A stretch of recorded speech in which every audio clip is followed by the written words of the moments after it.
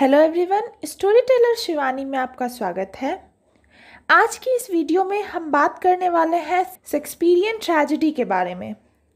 पर उससे पहले चैनल को सब्सक्राइब ज़रूर कीजिएगा so that you won't miss any important video और आप मुझे इंस्टाग्राम पर भी फॉलो कर सकते हैं। तो विलियम शेक्सपियर इंग्लिश रेनेसा के बहुत बड़े ड्रामेटिस्ट पोएट और एक्टर थे। इनके पास यूनिवर्सिटी की डिग्री तो नहीं थी, पर प्रैक्टिकल नॉलेज काफ़ी थी।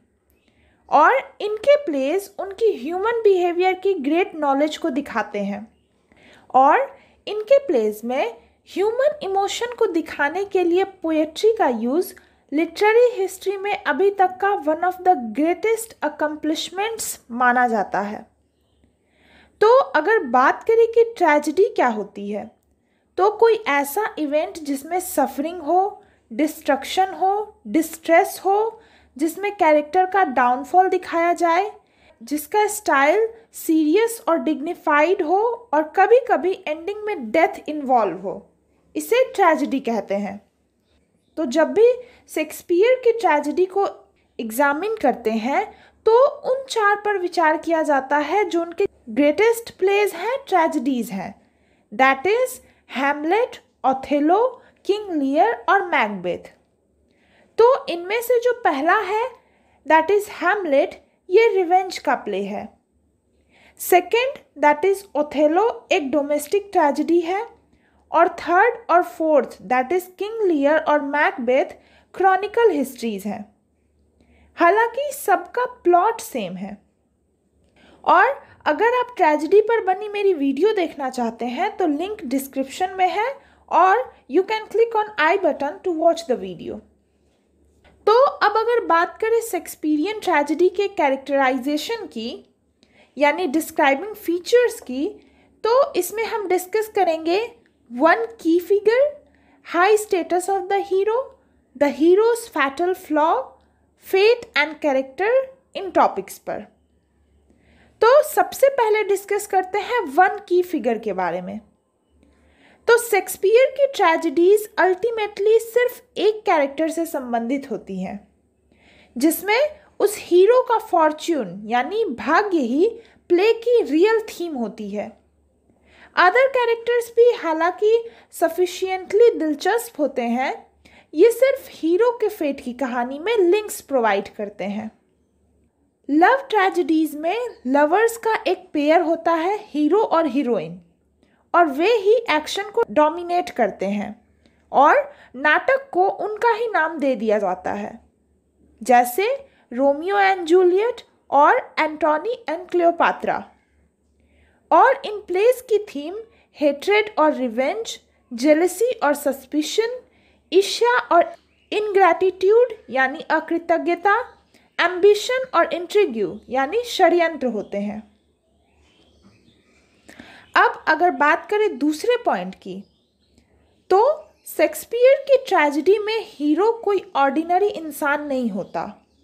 वो सुपरमैन नहीं होता, लेकिन उसकी रैंक या गिफ्ट्स उन्हें कैरेक्टर्स से ऊपर उठाते हैं।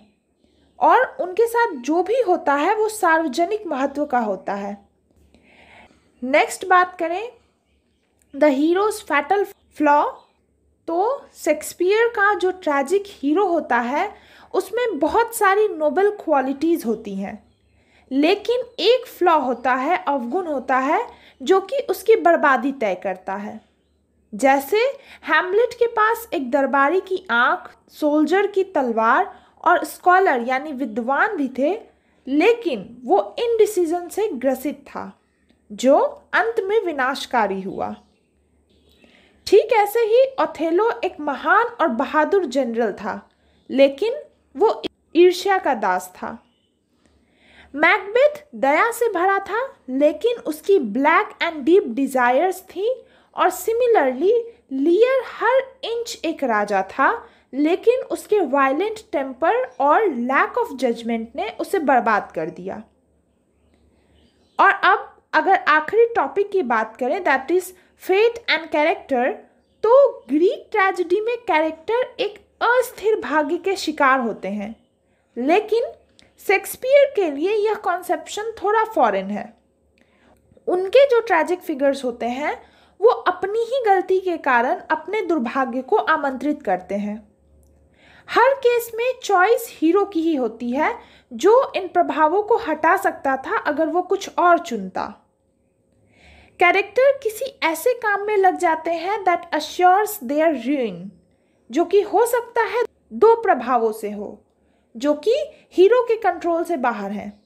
जैसे फ़र्स्ट इन्फ्लुएंस ऑफ़ सुपर और second the play of chance यानी मौके का खेल।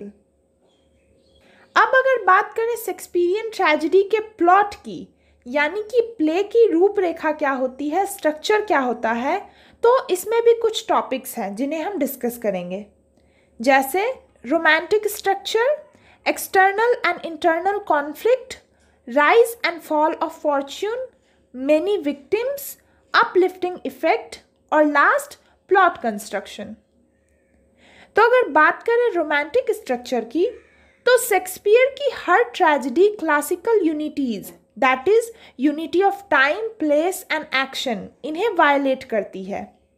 हर प्ले में प्लेंटी ऑफ़ एक्सटर्नल एक्शंस होते हैं और वे बहुत लंबे टाइम को कवर करते हैं। और प्लेस में भी फ्रिक्वेंट चेंजेस होते हैं जिसमें विदेशी यात्राएँ भी इंक्लूडेड हैं। नेक्स्ट है एक्सटर्नल एंड इंटरनल कॉन्फ्लिक्ट तो शेक्सपियरियन ट्रेजिडी में स्टेज पर जो वायलेंट एक्शन हो रहा होता है, इसी के समकक्ष हीरो के माइंड में इनर कॉन्फ्लिक्ट यानी आंतरिक संघर्ष चल रहा होता है। और इस इनर कॉन्फ्लिक्ट का प्रेजेंटेशन बहुत निपुण एक्टर के लिए भी डिफ़िकल्ट टास्क है। तो इसलिए ट्रैजिक एक्टर की डिमांड जो कि एक्सट्रीमली इम्प्रेसिव होनी चाहिए, ऐसी पास्ट में कभी नहीं हुई थी। थर्ड है rise and fall of fortune तो प्ले का फ़र्स्ट पार्ट हीरो के भाग्य के उदय को दिखाता है और बाकी उसके डाउनफॉल को। और ये फॉर्म एक सुस्पष्ट तुलना प्रोवाइड करता है ट्रंप और डिजास्टर के बीच। नेक्स्ट है मेनी विक्टिम्स तो शेक्सपियरियन ट्रेजिडी में सिर्फ़ हीरो की ही लाइफ नहीं बर्बाद होती या उसकी मौत होती है उसके अलावा भी कई कैरेक्टर्स को हानि होती है। जैसे हैमलेट का लास्ट सीन चार डेड बॉडीज के साथ खत्म होता है। रोमियो एंड जूलियट में भी कई लोग मरते हैं। नेक्स्ट है अपलिफ्टिंग इफ़ेक्ट यानी कि इस ग्रेट पोएट और ड्रामेटिस्ट के हाथों में हम जो स्टोरीज देखते हैं अनडिजर्व सफरिंग की डेथ की, ये हमें डिप्रेस नहीं करती। बल्कि वॉर में जो पावरफुल कैरेक्टर्स होते हैं वैसी ही परिस्थिति बनाते हैं जो हमारी स्पिरिट को मज़बूत और प्रशंसा से भर देती है। कि भले ही अच्छाई बुराई के कारण नष्ट हो जाती है, लेकिन इसका मतलब ये नहीं कि एविल विक्टोरियस है, बल्कि उसे अपनी गलतियों की सजा मिलती है। और लास्ट है प्लॉट कंस्ट्रक्शन तो शेक्सपियरियन ट्रेजिडी में प्लॉट तीन पार्ट से मिलकर बने होते हैं। एक्सपोजिशन कॉन्फ्लिक्ट और क्राइसिस जिसके बाद कैटास्ट्रॉफ होता है, तबाही होती है।